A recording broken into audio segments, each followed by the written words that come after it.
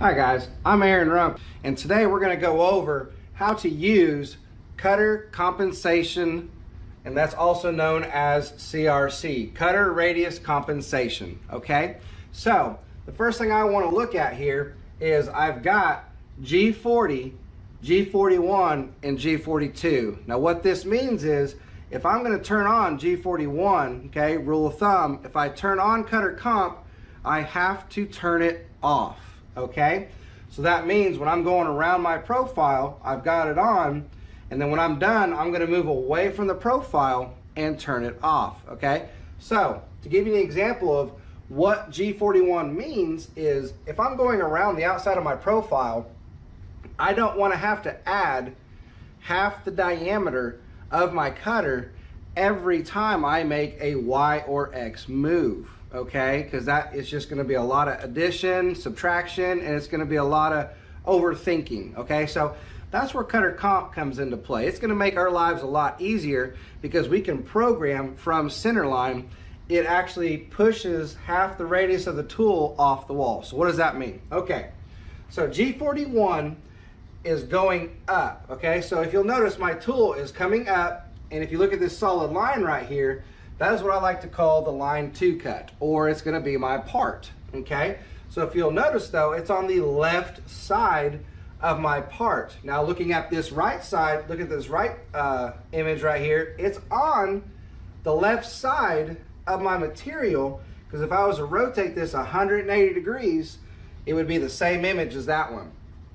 I am still on the left side of the line to cut, okay? That's my G41. That's what we're gonna be using the majority of the time because we wanna be climb cutting because there's so many benefits of using climb cutting when, when we're machining, okay? G42, all right, if you'll notice down here, it is to the right of the line to cut or my material, okay? So same thing, if I was to flip this 180 degrees, if you look right here, I'm also going that direction, but I'm on the right side of the line to cut, okay? So now we know that we have to turn it off once we turn it on. We know G41's to the left and G42's to the right. Okay, so let's look at this a little bit deeper, okay? So a rule of thumb is you need to move more than the diameter of the tool when turning on cutter comp, okay? So what does that mean? Okay, so if I look at point A right here, point A is going to be my origin or my X, Y, zero location, okay? So by doing that, I need to make sure that when I come down from home to my Z cutting plane, I need to make sure that I am not at X, Y, zero. The reason why is because when I turn on cutter comp, I need to be moving towards my part. I can't turn it on while going up and down in Z. I have to turn it on when moving towards the line to cut, okay? So if we look right here, you'll notice that he's using a half inch tool and I've got, I'm over 475 thousandths, okay? So they're not quite that far on the half the diameter, okay? But some machines are set up for radial. So in this case, his machine's set up for radial he can move that less amount than half an inch, okay? So you'll see in my demonstration, I'm actually going over 5 eighths on both directions, okay? So what I'm looking right here is he's also got a minus 100 thousandths in his Y, okay? This is just positioning the part away from the center of the pull, okay? So with that being said, I come down Z minus 250 thousandths, okay? And then if you look right here, G41, X0, D01. Okay, so what is the G01? Okay, so if I look right here at G43, G43 has to have an H for my tool length.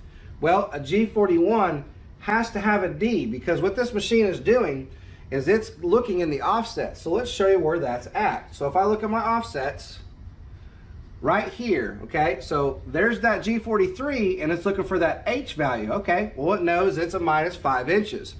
But I'm not using G43, I'm using G41. So if you look over here in my program, I'm using D02. So I've got G41, I am moving towards the part, and I have a D02. So that means when I come to my setup on my machine, I have D for diameter. I'm gonna put a half inch into that geometry column, okay? Because what my machine's thinking is G41, I'm gonna come to this page, okay? I'm looking for my D value, and then which D value am I looking for, okay? So they come together, and it knows that my tool is a half inch in diameter, okay? And that's how it will move. So coming back here, you'll see that he's moving towards X0. He's moved from here to there, and he has turned on cutter comp. Reemphasize, he is turning on cutter comp while moving towards the line to cut. If you'll notice, he's also making a perpendicular move to the line he is about to cut. Okay, that might be a little hard to understand at the moment, but if I'm going up, I want to approach it from the left. I want to come and make a 90 degree angle. Okay, so I'm turning it on right here, and then I'm coming up. So that way the center of my tool is not going to the center there. The center of my tool is coming right here, which is half the diameter away from the edge, okay? At which point in time, I'm gonna go all the way around my part, okay? When I am done with my part, he's actually just doing this one side, I'll be going all the way around. So once he's gotten to this point right here, notice how G40, okay, he is moving away from the previous point, okay? So my previous point, he is at X two inches, 600 thousandths. He's moved off the part. And now he is moving, he's turning it off, okay? If I turn it on, I have to turn it off. He's turning it off and he's moving away while he's turning it off.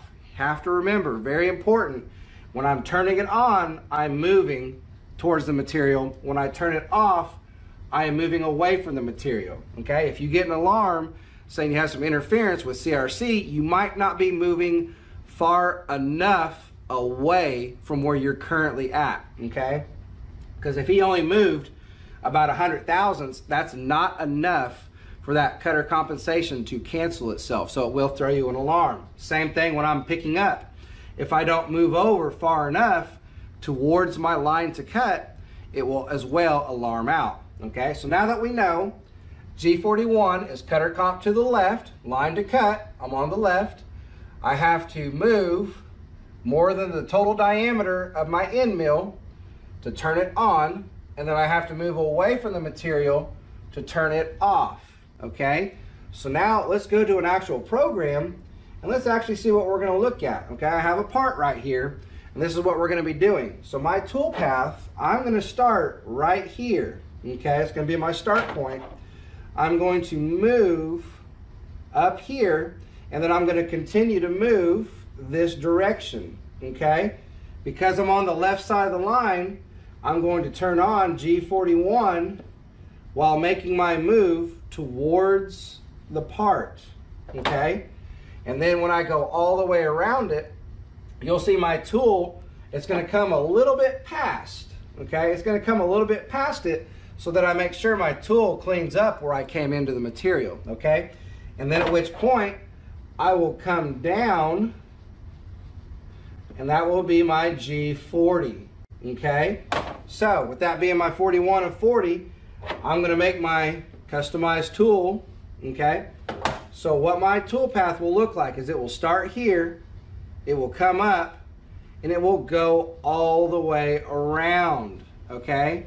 Now keep in mind where the side of my tool is at, okay? I'll come all the way around, past my point where I started, and then I'm gonna come down, okay? And then I'll return back to my starting point. So if I wanna do multiple Z levels, I can do that, okay? Now, why do we use G41, okay? Because if I program this part with centerline, okay, my tool is now violating the profile that I'm trying to make.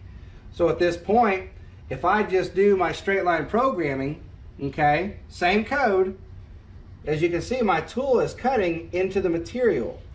By turning on G41 and telling my machine how big the diameter is, when it moves to the part, it puts the side of the tool at the side of the material, okay? It puts it right there, okay? So that means that it's not gonna cut my profile away and my program will look identical with and without cutter comp in it, okay? It's just the cutter comp allows me to stay off the line. So enough about that. Let's go ahead and see what it's gonna do. Okay, I've got my tool up there. I'm using a half inch end mill. It's tool number two. Uh, rule of thumb I like to state is when I'm using tool number two, my H also has to match. My D also has to match. Three variables, let's have them all match, okay? That way it'll keep from any errors in here.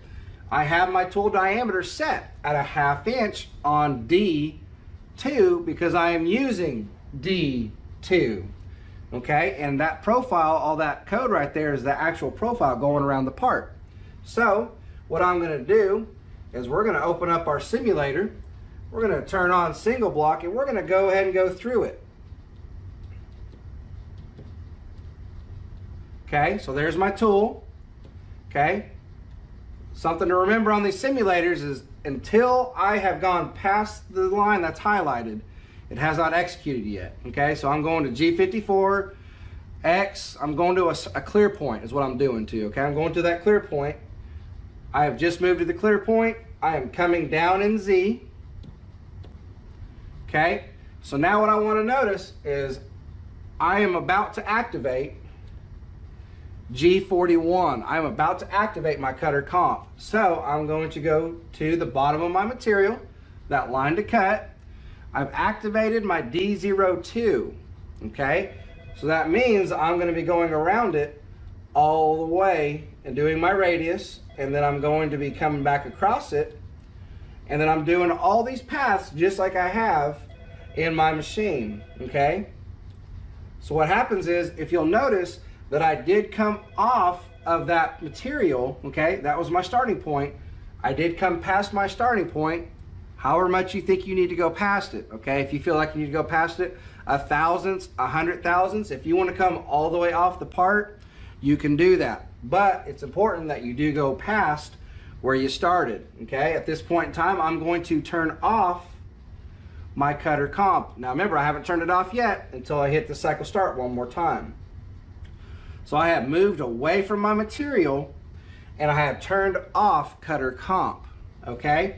So now that I've turned off cutter comp, I'm gonna return back to where I started.